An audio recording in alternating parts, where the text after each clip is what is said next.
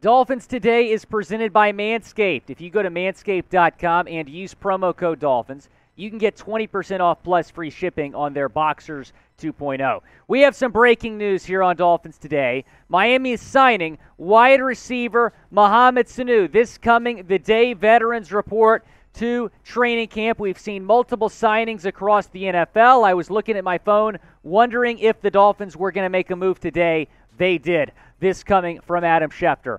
Veteran wide receiver Mohamed Sanu is signing with the Miami Dolphins per his agent, Mike McCartney. So, Mike McCartney, his agent, tweeted that he's excited for Sanu to sign with the Fins. Adam Schefter confirming that it is happening. Mohamed Sanu is the newest member of the Miami Dolphins. And, folks, this is why you subscribe because when breaking news happens, we have you covered. If you're a Dolphins fan, hit that big red subscribe button because we're going to keep you up to date on the Fins. I was out on the golf course the other day when Byron Jones was placed on the pup list. I still got you guys a video. If I'm in studio, if I'm out of studio, I'm going to get you guys a video when breaking Dolphins news goes down. So subscribe the channel because we're trying to get to 26,000 subscribers. Let's talk about Sanu. He is a veteran that spent the last has, has spent the last 10 seasons in the NFL, most recently with the San Francisco 49ers. Now, he spent last season with the 49ers. He's now reunited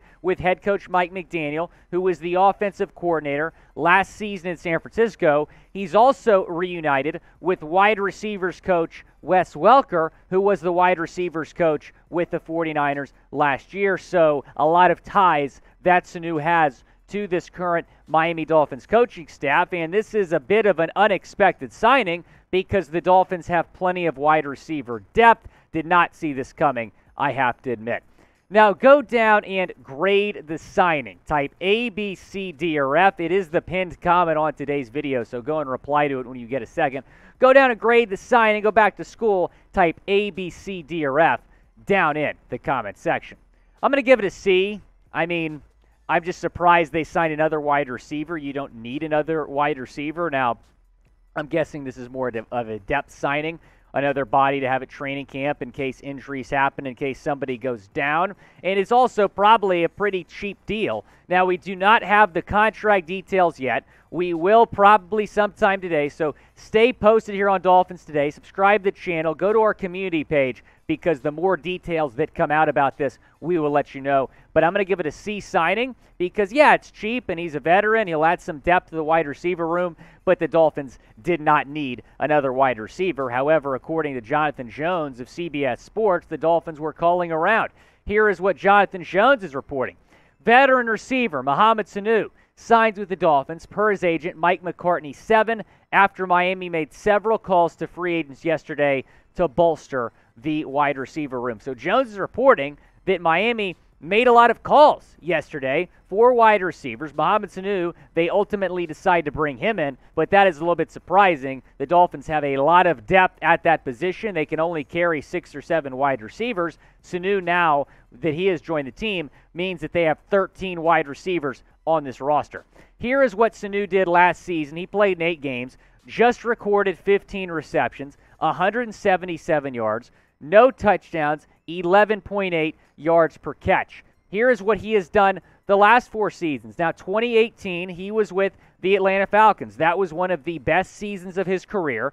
He went for 838 yards, four touchdowns. The season, that next season, 2019, that was his last season with the Atlanta Falcons. He went for 520 yards, but the last two seasons, he has not been the same wide receiver. He was really good in Atlanta. He was pretty good in Cincinnati when he started his career. So he played for the Bengals the first couple seasons of his career from 2012 to 2015. From 2016 to 2019, he played for the Atlanta Falcons. 2019, played for the Patriots, so finished the 2019 season with the Patriots. 2020, he played for both the Lions and the 49ers, and then spent last season with Mike McDaniel in San Francisco. But his production has gone down significantly. He struggled to stay on the field. You might even say he's a little bit washed. Here is where he fits in to the Dolphins' wide receiver depth chart. You traded for Tyreek Hill. He's your wide receiver one right now.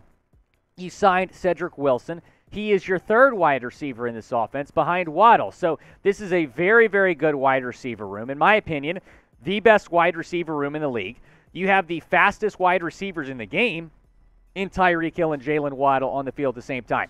Now, you drafted Erik Ezukanma. You signed Trent Sherfield. Lynn Bowden Jr. did not play last season. He's back. You signed River Cracraft. You have Preston Williams still on this team. And now you signed Sanu. You see all those guys on your screen? Not all of them are going to make this football team. This is wild. He might take a spot from a younger guy. And whenever we've talked about signing, you know, let's say Odell Beckham Jr., T.Y. Hilton, any other wide receiver on Dolphins today, a lot of y'all have said, well, I don't want to take a spot away from a younger guy like Lynn Bowden Jr. That might happen with Mohamed Sanu coming to Miami.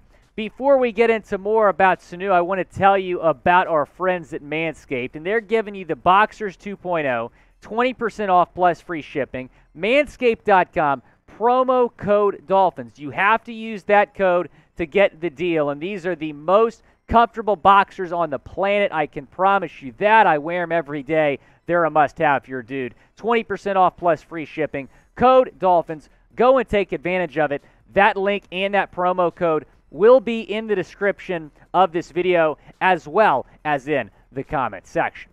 Mohamed Sanu, the most uh, recent notable move that the Dolphins have made. All of these moves you're seeing on your screen have been on the offensive side. They signed Alec Ingold. They signed Connor Williams. They're Teddy Bridgewater that is their backup quarterback. They signed three running backs Raheem Mostert, Chase Edmonds, Sony Michel. They signed Terron Armstead. They signed Cedric Wilson, traded for Tyreek Hill. This has been a very eventful Miami Dolphins offseason. They have not made a move in several weeks. In fact, this is the first signing they have made since signing Porter Gustin, a practice squad linebacker who spent last season with the Cleveland Browns. It has been a long time coming since the Dolphins have made a move. I was hoping it was going to be for an offensive lineman. Instead, it is for another wide receiver. What is your one word reaction to the signing? Go down in the comments section and chime in. Let me know. My one word is okay. It's just a little bit odd. You didn't need another wide receiver. Now, I understand that Sanu has a lot of connections to McDaniel and Wes Welker. I understand that. They probably really like him. He's good to have in the locker room, he's good for depth, but you didn't need another wide receiver. You need offensive linemen. You haven't made a move in weeks. I was thinking it was going to be another offensive lineman, but again, it's probably going to be a cheap deal, and he might not even make the team. He is not a guarantee to make this football team. In fact, I think Lynn Bowden Jr., Preston Williams, and maybe even Trent Sherfield have a better shot to make this football team than Mohamed Sanu. Now, will Sanu make the team? Type Y for yes or type in for no down in the comments section. Again, this coming the day, veterans report to training camp. It's going to be very interesting to see Sanu at training camp, how he fits into this team. Last week, we saw rookies report. August 13th is your first preseason game. Then your second preseason game is August 20th. So, some upcoming dates here. The 53 man roster deadline is August 31st. And unless Sanu just flat out sucks in the preseason, he might be one of the last guys cut. If he does get cut, it's going to come down to the wire. Buckle up because this wide receiver competition is going to be crazy. It was already crazy. Now you add Mohamed Sanu into the fold, it's going to be wild. And folks, I do apologize because I know that a lot of y'all got a push notification on a training camp preview video. it literally happened right as Mohamed Sanu got signed. So we had to put that video, uh, we have to push that video to tomorrow potentially. So stay tuned for that. But I will talk about the craziness of the wide receiver room in that video. So buckle up. It's going to be a lot of fun covering Dolphins training camp. Appreciate you all watching Dolphins today. If you haven't already, go down and subscribe to the channel.